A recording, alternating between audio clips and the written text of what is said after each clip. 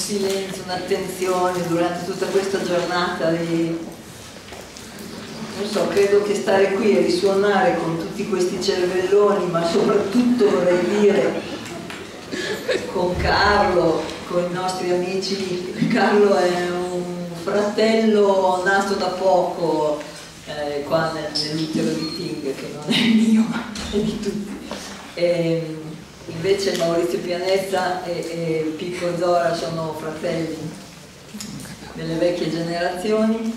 E una cosa per quello che posso dire per Eros eh, per gli altri che lavorano insieme a noi per gli altri colleghi anche il, giovane oncologo Nicola Frisio che eh, così mi ha fatto sentire la gioia di invecchiare e vedere grazie a lui le, le generazioni giovani dei nuovi oncologi che eh, comprendono, pensano, eh, domandano, rispondono, ascoltano, cioè meraviglia, è, è, è bellissimo per me diventare vecchia e avere questi compagni che eh, hanno dei, degli enormi cervelloni ma soprattutto hanno degli enormi cuori perché noi che studiamo da tanto tempo e cerchiamo di praticare il meglio possibile l'energetica della vita secondo gli insegnamenti della medicina tradizionale cinese, del Qigong, abbiamo eh, Cristina Bolza in sala che mi, mi chiamava questa osservazione sulla, sulla realtà energetica della realtà. Abbiamo cikungheri praticanti. Carlo, abbraccio Carlo per tutte, per, per tutti.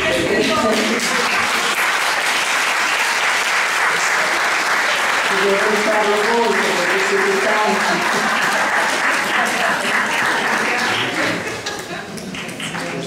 Mi amore, mio amore. Il nostro amore. Ebbene, lui è sposato con un artista, una ragazza bellissima, giovane, con due bambini bellissimi, però ci amiamo lo stesso. pubblico, sempre il pubblico, alla luce del, del, del, del eh, dicevo, il cuore, il cuore, lo scemo, l'energia che è la realtà dell'esistente, l'energia attraverso la quale si spiega si cerca di spiegare al meglio, si trovano dei modelli per descrivere, comprendere come viviamo, come ci ripariamo, come, quando e per quali ragioni eh, comunque sempre iscritte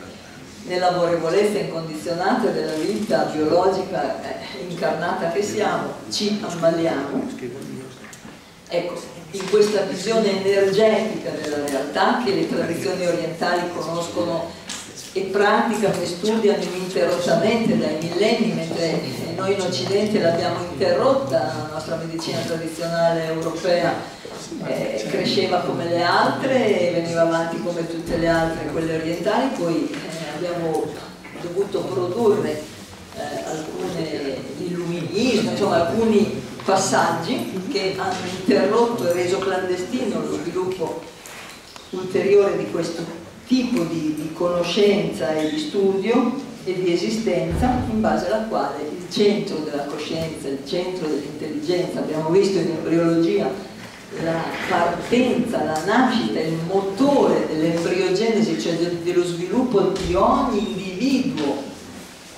dalla cellulina dallo zigote che diventa, nasce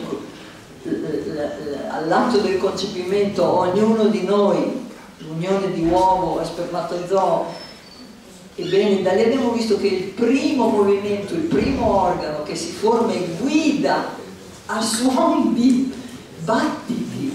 e di movimenti è il cuore. Il cuore per la medicina tradizionale cinese è lo Shen, tutti gli organi sono sede di scienza, di coscienza, ma la coscienza imperiale, imperatrice che orchestra, la direttrice d'orchestra delle coscienze dell'essere che siamo, Cristina se mi esprimo male, maestra sei te, correggimi,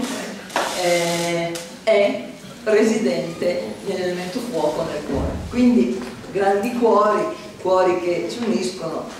e chissà se io riesco a scendere. No, io sono molto felice di fare questa relazione, vorrei dire semplice,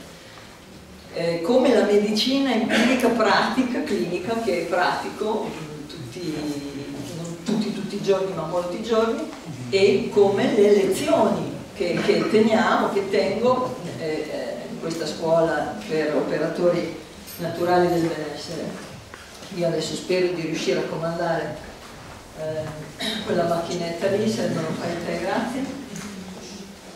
Questa relazione semplice sugli stili di vita, l'alimentazione, le abitudini, eh, quello che è più nelle nostre mani, quello che dipende di più da noi, non del tutto naturalmente, però di più, quello che è il nostro potere modificare. Io eh, ho, ho, guardato un po' di cose, guardato anche un po' di libri per darvi dei dati e soprattutto per darvi dei libri da studiare anche voi, leggere anche voi, mica solo io. e, e, e dagli studi accertati, gli studi ufficiali, non, non di nuovo del, del, del gruppetto, della, della,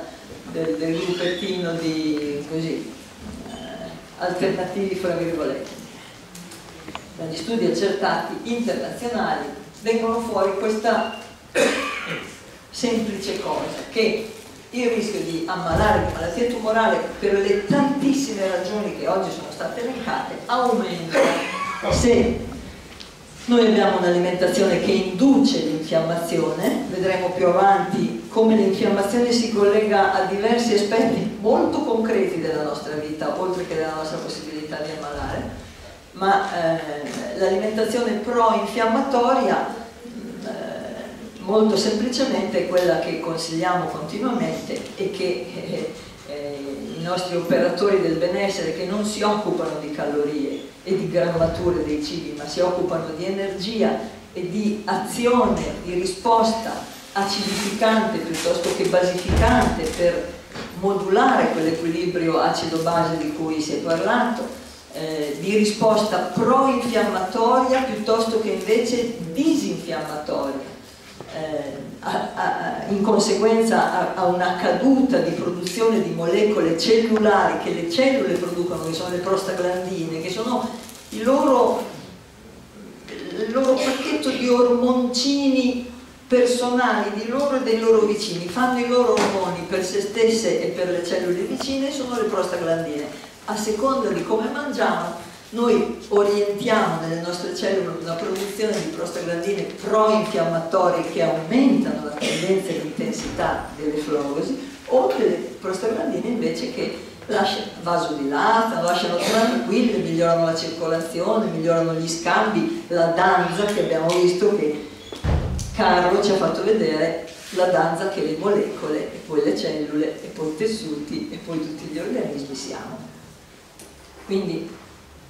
l'obesità è un fattore di sicuro ca considerato causa del cancro all'intestino, ma che incentiva il rischio di cancro anche negli altri eh, casi, negli altri tessuti, la sedentarietà, gli stress psicoemotivi, gli, non perché tutti quelli che si ha, tutte le volte, tutti i momenti che siamo sotto stress sviluppiamo un tumore, ma quanto piuttosto alla modalità di gestione che abbiamo nostri, dei nostri stress, oltre ovviamente ai limiti eh, del rapporto fra entità dello stress e nostra riserva energetica, in particolare surrenale, rene surrene, elemento basilare dell'energia vitale, dello Jing, dicono i cinesi, del, eh, la nostra capacità di sostenere, rispondere allo stress. In Occidente sappiamo che con le ghiandole surrenali produciamo ormoni per far fronte allo stress,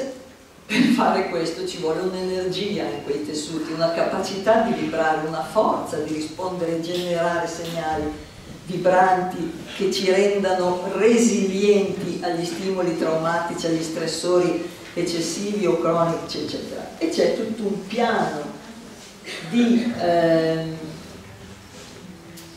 appunto cosa me ne faccio dello stress, cosa me ne faccio di un'esperienza coscienziale, per dirlo in una parola, eh,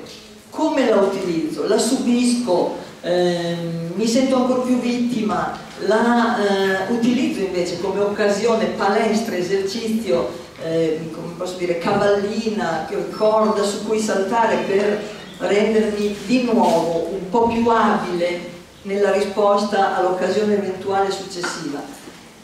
E posso fare questo, modulare la mia risposta di, di reazione, la mia reazione, a seconda di quanta energia ho a disposizione, di quanta ne posso usare e, e quanta energia ho dipende ovviamente, eh, andiamo avanti, dalla eh, vita che faccio, da se mangio dei cibi che, che, caricano di vitalità, carichi di vita o morti, eh, sbudellati, distrutti, ricostituiti, colorati, truccati, simulacri, sepolcri, neanche imbiancati, colorati, sepolcri colorati di cibi che non sono più niente di naturale e che basta assaporare per renderci conto che non sono i cibi con i quali abbiamo per milioni di anni nutrito l'energia vitale dopo essere nati, dopo essere stati concepiti dalla spinta appassionata dei nostri genitori, la nostra vitalità. Ebbene, eh, era, era quella subito dopo? No, c'era. Eh, allora, vorrei farvi vedere che su questa link eh, in testa trovate, se volete, un, um, una pubblicazione che è stata fatta nel 2007 dal titolo Il cibo, la nutrizione, l'attività fisica e la prevenzione del cancro. Uno studio mondiale che ha impiegato più di 50, 150 ricercatori in 50 centri di tutto il mondo, eh, raccogliendo come fondo mondiale per la ricerca sul cancro e collaborazione con l'Istituto Americano per la ricerca sul cancro, hanno tirato fuori questa analisi sul rapporto fra alimentazione e tumori. Quindi non è lo studio, i tre casi, eh, il, il,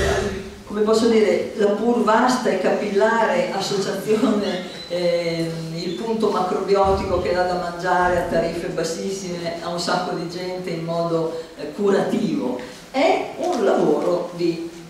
colossi, colossale, che viene continuamente aggiornato. Da questo lavoro associato al, al lavoro europeo, perché in Europa c'è stato uno studio EPIC che poi eh, ho citato, che è stato lo studio più grosso fino a due anni fa, mi pare, eh, quanto a campione di banca dati del sangue, banca del sangue, come eh, appunto campioni analizzati. Ebbene, da queste ricerche enormi, eh, sono venute fuori delle linee guida, delle indicazioni basate su evidenza epidemiologica. Serve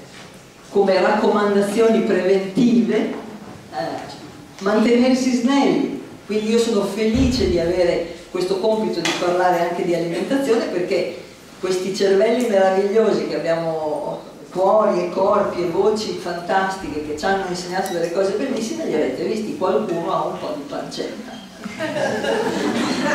e se noi li vogliamo tenere a lungo con noi a godere della loro capacità di conoscere e, comunicare della loro generosa volontà di mettere a disposizione di tutti quello che trovano, è bene che gli facciamo un cordoncione intorno risonante, vibrante, stiamo attenti a cosa mangiano. Quindi aiutiamoci e aiutiamo anche gli altri a mangiare meglio. Eh, occorre, leggete lì, le sapete tutte cose che sappiamo, che devo dire, noi da 30 anni di Ting lavoriamo con questo tipo di criteri, chi frequenta le feste della salute, ne abbiamo fatto la 31esima, si è sempre parlato di alimentazione, di cibo in questi termini, abbiamo sempre proposto questo tipo di ristorazione, c'è la cucinera, la cuoca, che fa la, la, la, ristorazione alle nostre feste, che fa questa roba. Quindi viene fuori, ecco le cose fra parentesi in rosso le ho aggiunte io, non, non discendono dallo studio e, e dalle raccomandazioni ECAC, VCRF, ARI, sono aggiunte mie. Mangiare, consumare abbondantemente cereali integrali, legumi, verduri, frutta biologici e ben masticati e poi in un altro punto aggiunto di stagione eh, evitare bevande zuccherate e bere acqua fuori dai perché evitare le bevande zuccherate limitare molto il consumo di alcol in termini di prevenzione se siamo ammalati lo capisce chiunque basta bere un bicchiere di vino quando avete l'influenza e state subito peggio non so se avete provato. Quindi provate se non avete ancora provato così voi lo sapete e, e basta mangiare un, un, pasticcino, a me basta, se ho un, un raffreddore che sta mangio un pasticcino, mi aumenta l'infiammazione, il dolore, il fastidio, quindi è assolutamente verificabile da tutti noi. Quindi da ammalati è meglio evitare, da sani si, si deve marcatamente limitare il consumo di questi cibi se vogliamo fare prevenzione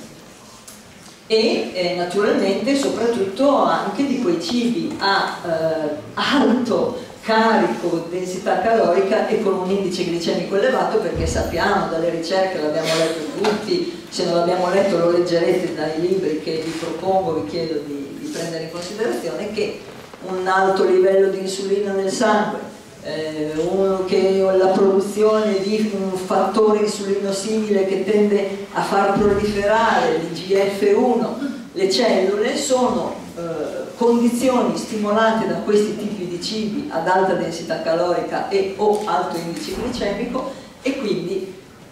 ci mettono nella condizione di ammalare di più. E Inoltre, siccome occorre essere abbastanza snelli, fare esercizio fisico, farlo quotidianamente, l'equivalente di almeno 30 minuti quando siamo poco allenati per arrivare a 60 minuti l'equivalente di una camminata veloce, ma uno può ballare, un altro può suonare la batteria, mm, eh, insomma non è che per forza solo dobbiamo tutti camminare velocemente. Però trovatevi qualcuno che si intenda di queste equivalenze e fatevi accompagnare o trovate delle cose che vi diverta fare. Allattare al seno è, è pro protettivo rispetto al tumore al seno, mentre invece le terapie ormonali sostitutive e la terapia contraccettiva, è già stato detto, sono riconosciutamente fattori di aumento di rischio di ammalare. Il fumo va evitato, anche quello passivo, e l'uso di qualsiasi tabacco, anche il tabacco sniffato, anche il tabacco masticato, perché ha un'azione eh, cancerogenetica sulle strutture con cui viene a contatto. Le esposizioni al sole prolungate, le lampade abbronzanti, soprattutto nell'infanzia vanno, vanno, usate protezioni, queste, ma l'ultimo punto direi proteggersi da fattori inquinanti, da inquinamento ambientale, eh, sostanze cancerogene di cui sappiamo il carico negli ambienti di lavoro, l'European Code e le raccomandazioni riportano i luoghi di lavoro dicendo di aderire alle norme di sicurezza e alle procedure di sicurezza. Io aggiungo bonificare le abitazioni e l'habitat non l'ho aggiunto ma ve lo voglio dire e qui non ho scritto questa cosa ma c'è Antonella, ci sono altre persone e nel nostro libro in caso di che adesso poi vi faremo vedere che sta a fare da, da, da ripiano eh, potete trovare se non li conoscete qualche spiegazione e contatto sugli EM microorganismi efficaci che sono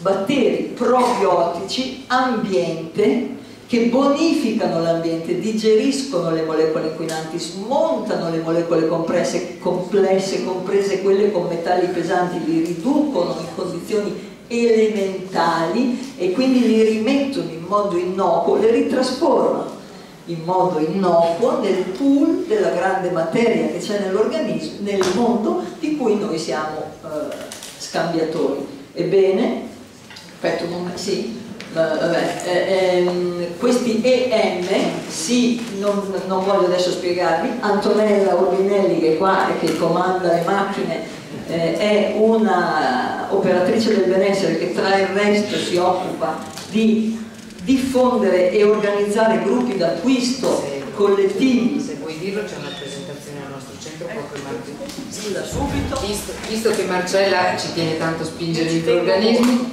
eh, c'è una presentazione per descriverli nel dettaglio nel centro verso il mondo nuovo Borgo Panigale martedì questo martedì sera alle 8 e mezza. Quindi se qualcuno interessa può andare su un sito verso il mondo nuovo.net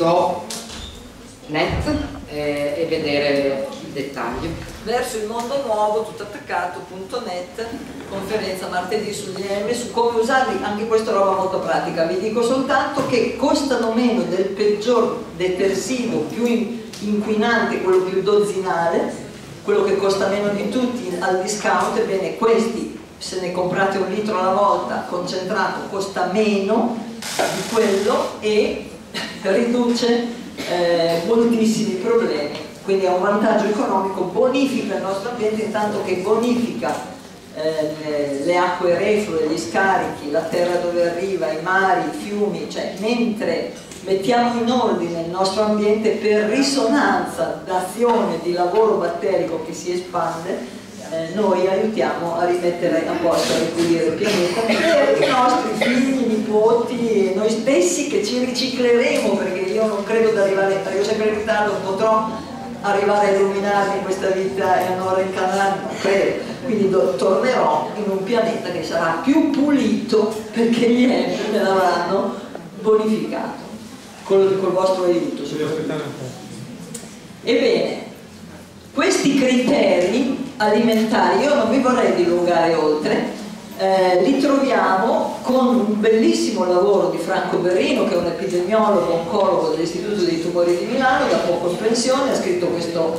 che è un lavoro di analisi ed esame di moltissimi studi eh, sull'alimentazione e sugli effetti dei cibi che, dal, dal, quale ho preso quei dati che ho messo nelle, nelle slide. Se vai avanti, eh, secondo lui, quindi questi studi, vedete, EPIC, ECAC, che sono la parte europea, più grosso, e quell'altro, la parte internazionale americana, inter, inter, intercontinentale, eccetera, il sugo, se ve lo posso dire, è che un terzo dei tumori maligni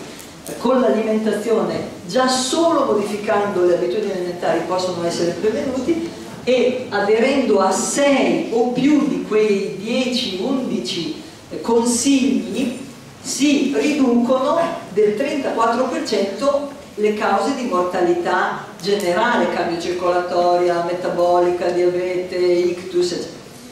Quindi, ehm, un'altra evidenza rispetto terreno e costituzione, genetica e eh, abitudini e stile di vita L'alimentazione e lo stile di vita incidono quanto al cancro al seno in modo, in modo accertato di più della familiarità e della genetica e quindi è una bella notizia secondo me. Se anche siamo figli e nipoti di donne che hanno avuto un tumore al seno, noi eh, mangiando meglio ce ne facciamo un baffo come diceva San Giorgio stamattina il che è la nostra esperienza da 25-30 anni. Il consumo di cereali integrali, ribadisco biologici, legumi, verdure, eh, alghe, alghe, che sono verdure di mare ricchissime di e nutrienti, ortaggi e frutta di stagione, eh, vitamine, contenenti vitamine, ma queste che ho citato, B2, B6 e folati, perché le cito? Eh, perché proteggono l'intestino, ma perché l'oncologo che ha fatto anche la storia dell'oncologia sa che noi abbiamo ricevuto, io ho ricevuto degli anatemi, delle, delle, delle minacce di essere radiata dall'albo perché davo, almeno temporaneamente, consigliavo a, problemi, a persone con problemi di questo tipo, o epatici o malattie tumorali, eh, vitamine del complesso B non sintetiche, naturali da lieviti plasmolizzati, e ho continuato a sostenere questa, a fare questa cosa eh, sempre informando le persone che stavo proponendo qualche cosa rispetto alla quale l'oncologia ufficiale diceva che non si doveva fare perché quelle vitamine sono fattori, erano considerati fattori pro-proliferativi e quindi che potevano aumentare il cancro e io nel mio piccolo ho fatto come hanno fatto Zora e gli altri che hanno continuato ad andare avanti per la loro strada, soprattutto come posso dire confortata dai risultati che i pazienti uno a uno eh, ci portavano. E ehm, un'altra cosa la voglio spendere relativamente alla soia, provo ad andare avanti, forse l'ho scritta, non lo ricordo più, ah qui ci arriviamo dopo, eh, forse non l'ho scritta. L'altra cosa è la soia e i derivati, la, la credo di citarla dopo o prima. Ecco, lì, era lì, cioè, soia e derivati proteggono le donne dai tumori al seno e all'utero e proteggono gli uomini dai tumori alla prostata. È accertato dagli studi non da me che le do da 25 anni e le mangio da 30 anni e le consiglio da 30 anni alle persone che prima venivano da me come eh, e medico scalzo formato alla scuola di eh, eh, terapia secondo la medicina tradizionale cinese di Maria Teresa Pinardi che è stata la mia maestra prima di medicina tradizionale cinese ma ha insegnato la base basilare di quello che so di energetica e, e, e, e che da allora mangio soia e alghe oltre a tutti i resti che abbiamo detto, e lo do da mangiare anche alle donne che si azzardano a provare a mettere in pratica quel che dico io quando gli oncologi dicono che assolutamente non devono mangiare la soia e se hanno avuto un tumore al seno, un tumore all'utero, se stanno lottando per, per, per, per contenerlo o guarirlo. E mh, mm, sottolineo soia e alghe perché, che, che non so se no, ho scritto sotto, perché la endocrinologia, eh, sapete, quando c'è una insufficienza funzionale della tiroide, un ipotiroidismo, dice che non si deve mangiare la soia e che anzi mangiare troppa soia contribuisce a spegnere la funzionalità tiroidea. Infatti noi sappiamo dall'epidemiologia di quando io facevo l'università nell'altro millennio, oltre che nell'altro secolo, San Giorgio più vecchio di me a, a, a ebbene.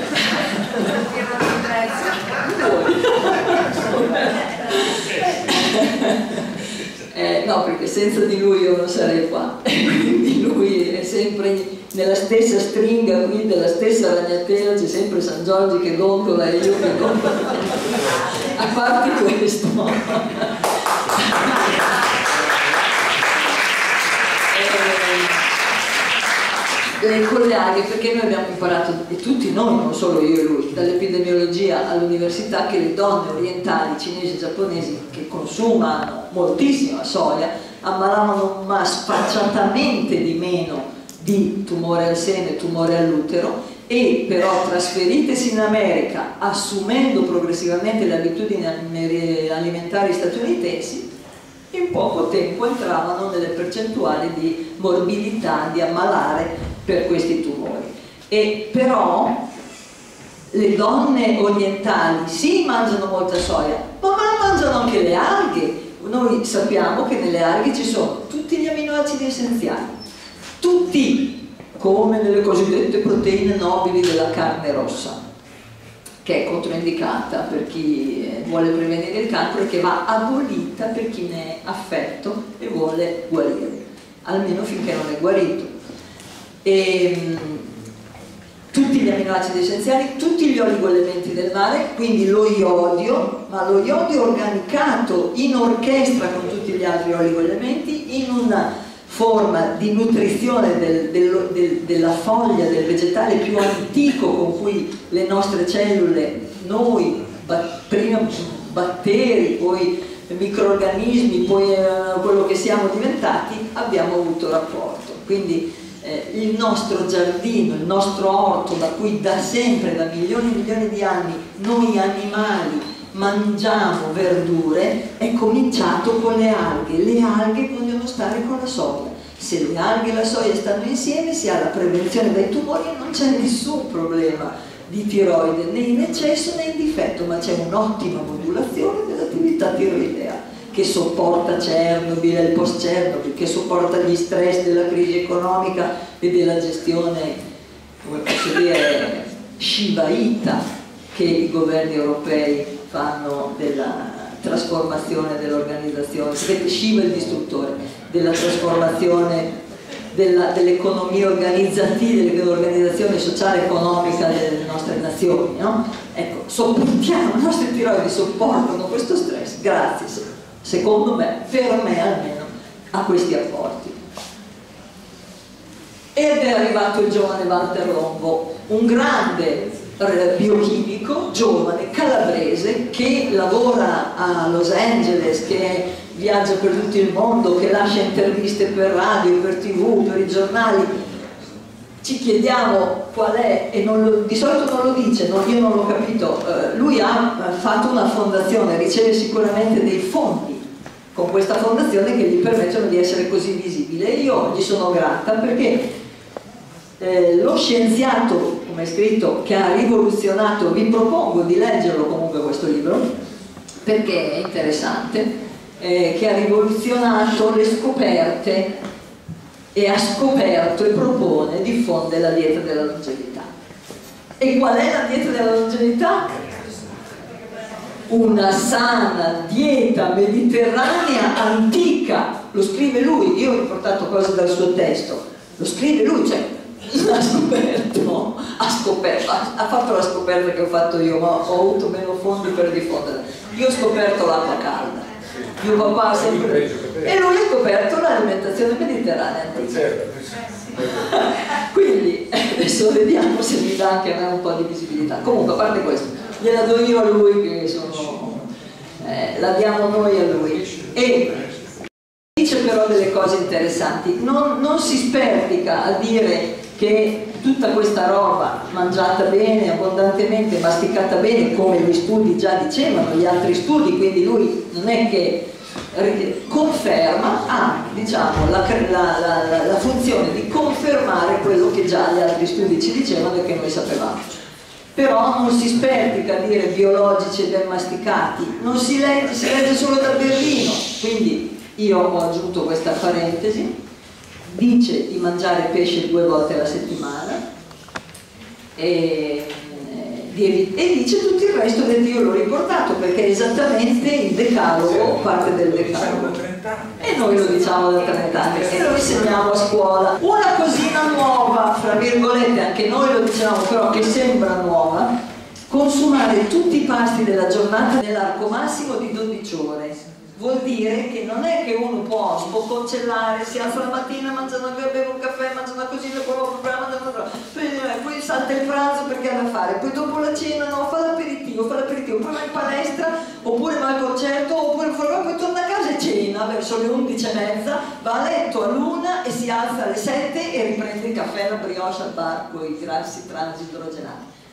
Non si può, ma non si può, non conviene, neanche se mangi eh, l'ostia benedetta la mattina digiuno con l'acqua in ginocchio e poi se mangi l'alga del mar dei sargassi e della perla, della benedizione della perla nera e via dicendo. Nemmeno quello non conviene, conviene avere un periodo, quindi in altre parole di almeno 12 ore di stop, di assenza di lavoro, di digestione, assorbimento, assimilazione, una pausa. Tramonta il sole, lasciamo tramontare la fatica del lavoro di digerire. Quindi non dico proprio al tramonto, però 12 ore. Su questo longo io gli sono grata perché è quello che più chiaramente ha focalizzato su questa cosa. Vai. Gli studi sul digiuno periodico di Longo e molti altri ricercatori accertano che ha effetti benefici. Se applicato in tempi e modi adeguati, aumenta le difese immunitarie antitumorali, la riparazione dei tessuti lesi, previene le malattie metaboliche, croniche e degenerative, riduce l'obesità e il sovrappeso senza intaccare i muscoli e la massa magra. Applicato correttamente può eh, in corso di chemioterapia aumentarne l'efficacia contro le cellule tumorali mentre si riducono gli effetti collaterali sulle parti sane dell'organismo e riduce le recidive di malattia. Per evitare i rischi e le difficoltà del digiuno, il professor Longo ha messo a punto una dieta mima digiuno, 5 giorni, un periodo di 5 giorni a ridottissimo apporto calorico, ma con pasti abbastanza abbondanti in volume, a base di verdure, legumi, frutta a guscio, cioè semi oleaginosi, e un integratore di omega 3 e 6. I periodi di 5 giorni mima digiuno con entrata e uscita calibrata dal ciclo possono essere ripetuti a seconda dei casi.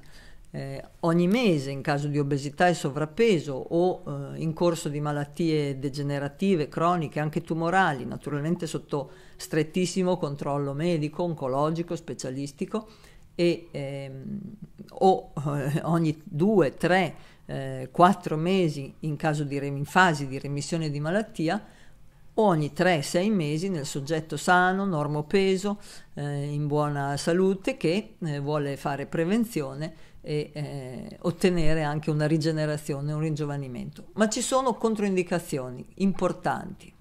Il digiuno e il semidigiuno e quindi anche la dieta mima digiuno protratti oltre un giorno non, non vanno fatti eh, in caso di in gravidanza, durante l'allattamento, fanno male se si è deboli, magri o eh, in chi soffre di anoressia, eh, non possono essere associati, è pericoloso associarli eh, ai farmaci antidiabetici, ai farmaci che riducono la pressione alta e in generale non conviene fare questi periodi eh, mentre si prendono farmaci, ma eh, in caso di sospensione dei farmaci deve esserci l'approvazione del medico e bisogna essere seguiti per questo. È pericoloso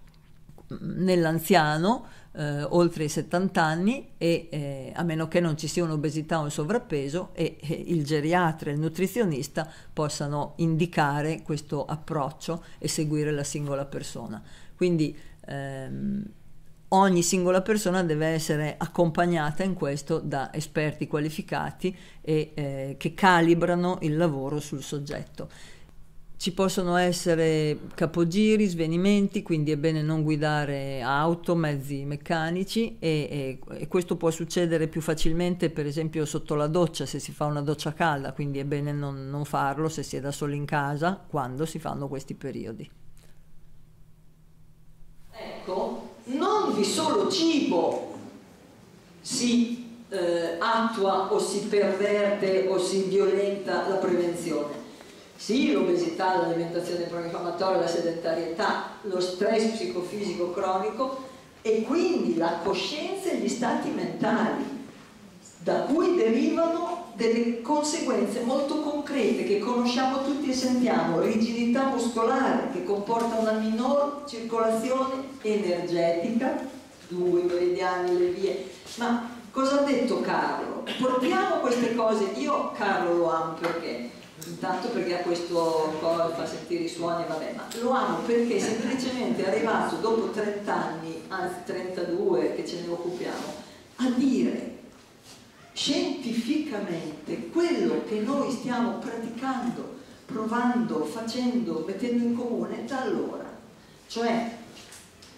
se vogliamo che i segnali circolino, che l'energia circoli, che questa armonia di fase che si sviluppa in tutte le nostre molecole sia libera di mettersi in fase, bisogna avere meno rigidità possibile. Se siamo contratti nei muscoli, rigidi, la struttura somiglia sempre di più a un tavolo, a un pezzo di marmo,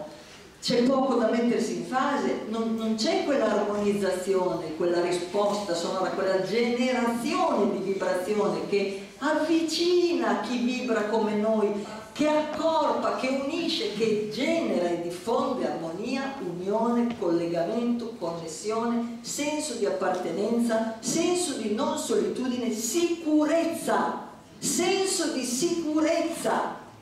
Posso essere da solo ovunque, posso non avere niente in tasca, posso non contare niente, non essere nessuno. So, sento che risuono con tutti gli altri esseri e se mi scivola un pezzo di qualcosa un altro che vibra come me mi aiuta a tirarlo su, non c'è problema. Questo è se ci manteniamo morbidi, rilassati e se cerchiamo e pratichiamo e applichiamo e pratichiamo costantemente le cose che troviamo utili, efficaci, praticabili per ognuno di noi, perché c'è quello che, ripeto, che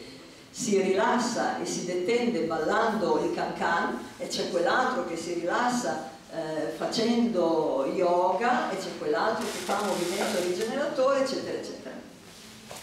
Quindi la rigidità le, da cui derivano stress psicoemotivo cronico, coscienze, stati mentali alterati, disfunzioni neurovegetative, riduzione della comunicazione, in quel senso di oscillazione, di vibrazione, di risonanza, di segnali che vengono ottusi, bloccati tra noi e noi e tra noi e gli altri, tra noi e l'ambiente, con alterazioni della percezione sia propriocettiva che eh, tra con l'esterno, quindi possiamo sentire delle cose che ci spaventano ma che sono proiettate dalla nostra rigidità e paura. Noi possiamo leggere nello sguardo, nelle parole o in un gesto che fa un'altra persona qualcosa che risponde a una nostra paura e rigidità e blocco interiore, interpretarlo come minaccioso, reagire aggressivamente con violenza e questo credo sia quello che succede quando accadono episodi violenti. Non è che ci sono i buoni e i cattivi, le, le persone violente e le persone non violente, non siamo diversi. Io non sono diversa da quello lì che, che sfigura con l'acido o da quell'altro che uccide quando per motivi futili se non per motivi addirittura crudeli. Non sono diversa e se non sono diversa io non siamo diversi nessuno, siamo tutt'uno. Come accade? Applichiamo le cose che scientificamente abbiamo visto, trovato,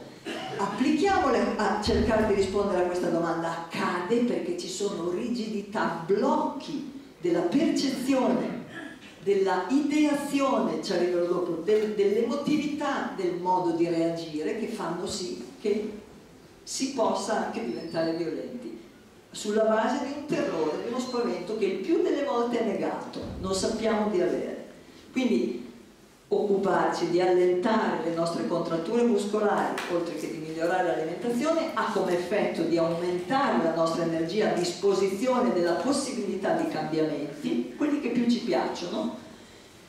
perché quanta energia teniamo bloccata nei muscoli tirati, quanta forza spendiamo lì, quanta stanchezza accumuliamo se noi lavoriamo costantemente come ci laviamo i denti, come puliamo via lo sporco e l'acqua, prima ancora che il sapone, lavano via e resettano le energie distoniche, i blocchi che impediscono l'oscillazione armonica e l'armonizzazione. Basta passare sotto l'acqua e ci resettiamo, cioè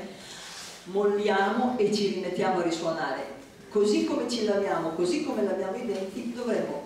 quotidianamente o quasi praticare tecniche detenzione della contrattura nei tanti modi della contrattura che accumuliamo abitualmente nel vivere, nello stare in piedi, nel faticare, nel forzare rispetto alla stanchezza, nell'adattarci a fare cose che non subito vorremmo fare o forse mai, ma ancora per un po' sì, eccetera, eccetera. E qui arriviamo, cosa c'era prima di questa? Quella che c'era prima, perché ogni tanto mi slittano via e siamo nel bel cuore di quest'altra branca della scienza interdisciplinare medica che è la psiconeuroendocrinopneumologia già citata, che non è nuova neanche lei. Quelle connessioni che avevamo visto, eh, infiammazione, si è visto dalla PNEI, dice che l'infiammazione è correlata alla depressione, dice anche che l'infiammazione è correlata al cancro e dice anche, guarda caso, la psico-oncologia che la depressione e il cancro sono correlati. Ma la depressione prima di tutto è depressione di disponibilità energetica, di possibilità di cambiare modo di reagire e ritorno a ripetermi, non mi ripeto quello che ho appena detto. Quindi, ruolo centrale, lo dicono gli scienziati, le ricerche, hanno la gestione dello stress e delle emozioni non solo i fatti che succedono, come noi li gestiamo queste condizioni e dimostrano e dimostrato che le tecniche di, di detenzione e le pratiche di meditazione funzionano, sono utili resettano il sistema neurovegetativo, permettono di avere maggior resilienza, ci fanno essere più capaci di sostenere lo stress, eccetera, eccetera. Quindi sono a tutti gli effetti con evidenza pratiche che costano poco o niente, a parte il nostro tempo e la nostra volontà di sperimentarle e di continuare. L'esperienza è che più lo facciamo, più viene facile e più risulta piacevole e meno ce ne priveremo da un'addiction positiva, le buone abitudini eh, veramente poi non si perdono man mano che le si pratica, vi suggerisco di cominciare, se fate fatiche lo stesso, smettete quando ah, vi siete scocciati, forse anche dopo un secondo, e ricominciate però a farlo almeno il giorno dopo, non più tardi del giorno dopo. Punto, questo è, la meditazione è questo, stare con se stessi, ascoltare cosa c'è, non distrarci con dei movimenti, con delle cose finché non siamo così allenati che possiamo meditare anche lavando i piatti, masticando, cagando, trombando, eccetera, eccetera, lavorando, ma finché non siamo allenati, fermi, ascoltare cosa fa, dove va il respiro da solo, cosa sentiamo,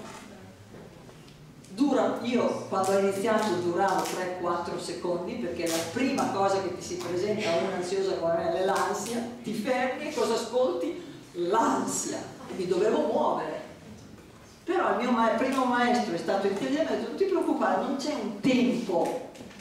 c'è che stai finché puoi, quando diventa uno sforzo smetti perché lo sforzo non è lasciarsi essere, osservare, ascoltare senza far niente né giudicare, eccetera quindi ascoltarsi, fermarsi, ascoltarsi per un tempo, finché ci va, finché possiamo, e rifarlo, e rifarlo. E poi, ecco, questo libro è un libro bellissimo, che qualcuno, molti conoscono, bellissimo perché raccoglie molte di queste indicazioni, di queste esperienze in modo pratico. È uno psichiatra, David Servan Eli Schreiber che, eh, ha, eh, Schreiber, sì, che è passato attraverso questa esperienza recidivata di eh, malattia tumorale con tutta una serie di eh, cose che ha sperimentato e che da, da ricercatore, da scienziato, ha, eh, da medico comunque, scusate, che, che sa e vuole utilizzare i risultati della ricerca e della scienza, li traduce, li rende, devo dire che questo è molto bello. Allora, la meditazione, secondo la Società Italiana di Psiconeuroendocrina Immunologia, ehm, secondo nel senso che quello che eh, si sa che è ufficiale è che eh, eh, dati riportati all'ultimo congresso della PNEI a eh, Roma recentemente in ottobre dove non sono stata ma è andata e mi ha relazionato Lucia Berardi che poi è citata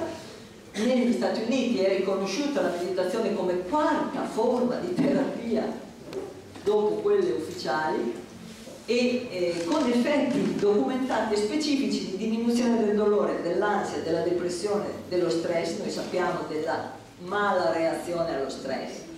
e miglioramento dell'umore e dell'autostima. Cosettine che sicuramente sono utili se siamo ammalati di tumore, anzi direi indispensabili, perché con una diagnosi di tumore lo stress è a 6.000 e, e, e, la contrattura è a 8.000 e, e, di conseguenza ansia, depressione, dolore, umore e autostima nella merda. Quindi in quella fase lì, che è, un, è una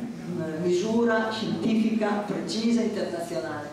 E, ehm, in quella condizione è indispensabile, però quante altre situazioni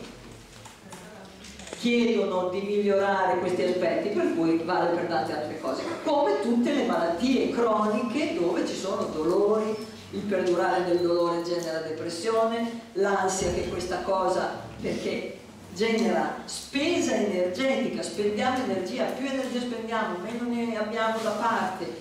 meno ne possiamo disporre, più ci sentiamo in pericolo, più ci spaventiamo, si svuota il rene, chi conosce l'energetica cinese sa che la paura trabocca e più è in vuoto rene su rene, più la paura è smisurata. Noi abbiamo delle pratiche, noi, la medicina tradizionale, la, la, la naturopatia eh, ha delle pratiche di una semplicità eh, eh, assolute di un'efficacia verificata, collaudata, mai smentita, come l'impatto di sale caldo sulla zona lombare, il pediluvio caldo col sale e lo zenzero, che ricaricano l'energia della loggia acqua rene su rene, che riducono lo stress, l'ansia, la depressione e la paura, anche quando generate da una diagnosi di malattia tumorale, non so quale quarto, quinto, sesto grado. Quindi vi prego di prendere seriamente in considerazione la possibilità di dotarvi di questo manuale di pratiche naturali collaudate che l'associazione distribuisce e che Carla laggiù ha in, e di regalarlo per Natale e regalarne una copia al vostro medico di base per favore. Per favore fategli questo regalo. Di contributo di 10 euro. E, e gli stati mentali, li ho citati, c'è questo State of Mind 2015, Mindfulness, pazienti c'è un articolo specifico, Snoopy, ma gli stati mentali, avanti. Ecco, in Occidente nel 1996 Lucia Berardi che ho citato, psicologa, eh, prima che psicologa economista, eh, poi doppia laurea in psicologia, poi maestra di yoga dopo essere stata lupo alleva di un maestro indiano e, e eh, maestra e praticante di meditazione. Nel 1996 insieme a Paolo Brunetti per l'edizione Andromeda eh, ha pubblicato questa dispensina che non si trova più credo di, ricordo se 12 pagine su quello che si sapeva già allora in Occidente di meditazione. C'erano già degli studi nel 96, vai avanti. Ebbene, non vi sto a dire, vi do dei link, eh, qui, eh, però vi voglio dire delle cose di cui sono veramente grata e credo che sarei stata qui anche solo per dire, far vedere queste tre cose, aver trovato queste tre cose, e cioè che chi vuole meditare in gruppo e non da solo ed essere seguito può farlo gratuitamente per la disponibilità dell'Associazione Colibri di Lucia Berardi che eh, raccoglie questi gruppi il venerdì pomeriggio. Free! Ci volete andare, vi mettete in contatto, nessuno vuole niente, se volete dare un'offerta volate, se no no, fatelo. C'è un progetto di ricerca grosso, conosciuto, Pagliaro, tutti l'avete sentito nominare, si insegna al Bellaria il Tonglen, che è una meditazione buddista specifica dove la sofferenza dell'altro la prendo su di me e la distribuisco in modo che si diluisca e che possiamo, avendola tutti, eh, soffrire di meno. Se vogliamo, un, un attimo prima, eh, in, online è possibile seguire corsi e conferenze di Marina Boruso che da 35 anni insegna meditazione, attenzione liberata, presenza, è la maestra che traduce, ha tradotto in Italia i libri di Eckhart Tolle sul potere della presenza, è una grande, io in sua presenza due volte nella mia vita, tre l'ho incontrato, ho avuto dei palzi, ascoltando le sue parole nella mia piccola capacità di essere cosciente di me, veramente impressionanti, così come quando ascolto Carlo parlare mi si apre il cuore e mi sento diventare generosa, un arcangelo, come in presenza di questo arcangelo scienziato che è lui e avanti.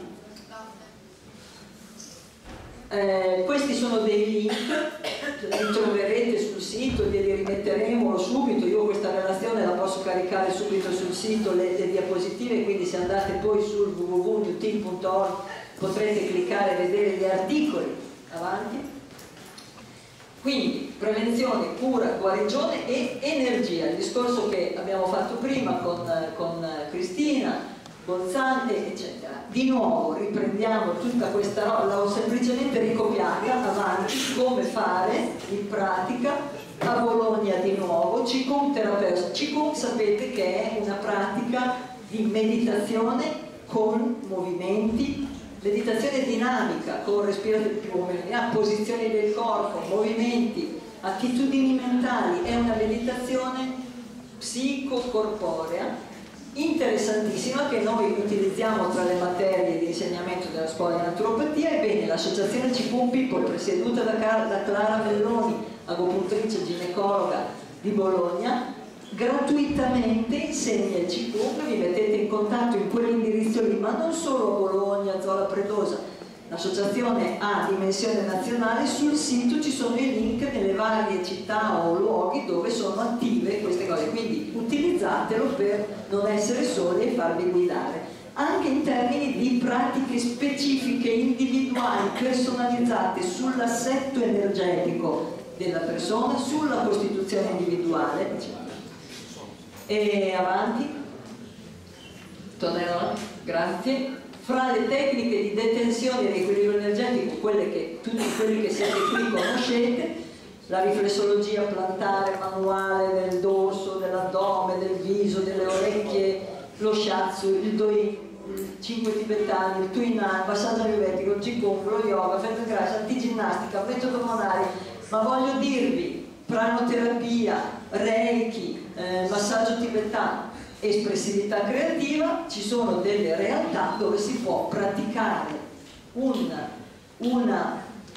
circolazione dell'energia, dei sentimenti, delle emozioni, degli stati d'animo che possono, se stagnanti, inquinare, turbare la nostra fisiologia, la nostra capacità di guarire. Avanti.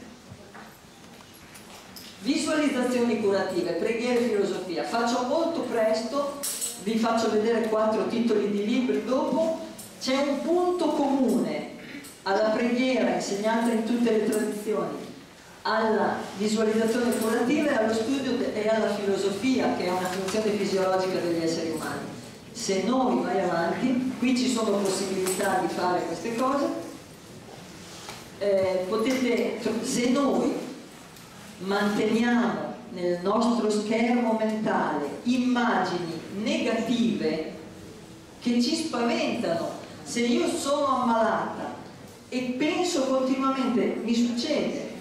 penso continuamente al mio male, penso continuamente al mio dolore, penso continuamente al mio organo leso, penso continuamente al rischio che torni la malattia, penso continuamente a quelle scene, a quelle cose, a quelle cose brutte. Ebbene, purtroppo attrarrò per quello che ci ha fatto vedere Carlo, risuonerò nel mio corpo con le frequenze relative a queste immagini e pensieri disturbanti, patologici, dolorosi, consumerò energia,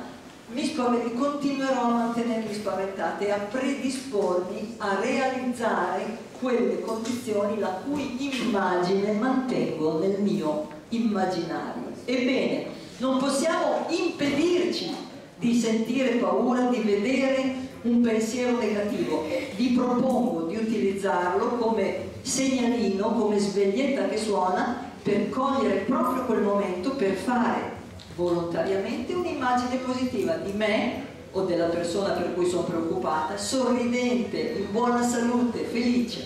Affiancate, affianchiamo continuamente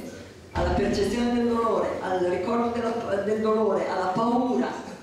tutte le volte che salgono, che sorgono nello schermo interno della nostra esistenza, della nostra coscienza, affianchiamo ogni volta un'immagine di noi sorridenti, felici, che stiamo bene,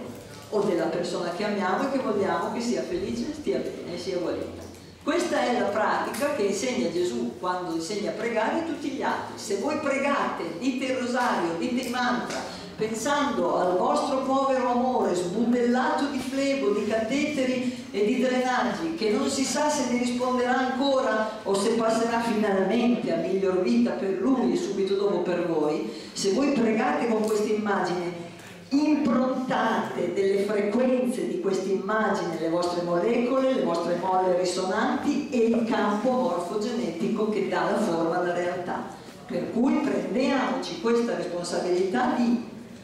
ogni volta che sorge un'immagine negativa, affiancarle quantomeno come neutralizziamo l'iperacidità con, con, le basi, con i minerali basificanti e neutralizziamo l'immagine negativa con un'immagine positiva. Questa è preghiamo vedendo la persona sorridente che sta bene. Io ho imparato questo, il corpo racconta, è un libro che insegna come funziona il corpo umano e anche le sue valenze psicosomatiche, quindi a cavallo con la CNEI della Maria Puscetto, che è un'insegnante della nostra scuola. Zero Limits trasmette in modo semplicissimo la filosofia e la spiritualità havaiana degli indigeni havaiani, Aloha, Samoa, amore, danze, oscillazioni, ondulazioni, efficacissima. Io la pratico e chi la pratica me lo conferma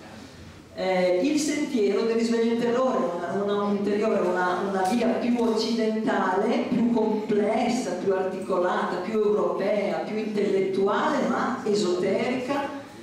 Eh, Eva Pieracus era una medium, canalizzava delle lezioni di questa guida spirituale. Se vi va, leggete, io ho trovato grande coraggio, mi ha dato molto coraggio nell'intraprendere questa via di unione amorevole con me stessa, accettazione miei stati, accoglienza di me, qualunque sia la realtà del momento, accogliermi,